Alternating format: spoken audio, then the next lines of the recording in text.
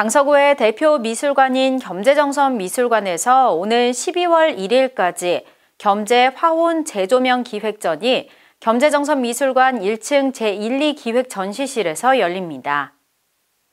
지난 10월 28일부터 시작된 겸재 화혼 재조명의 첫 번째 전시는 제1 기획 전시실에서 박병일 작가의 숨토피아, 다른 어디에도 없는 전으로 이 세상에 존재하지 않는 다른 어디에도 없는 이상 세계를 자기만의 회화적 기조 방식을 통해 보여주고 있습니다.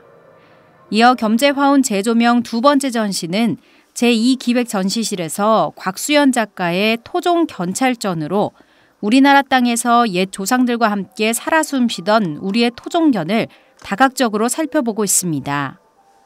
이번 전시에 두 작가가 던진 화두를 통해 보다 많은 사람들이 느끼고 공감해 볼 수 있는 소중한 기회가 되기를 바라며 이번 겸재화혼 재조명 기획전에 국민들의 많은 관심 부탁드립니다.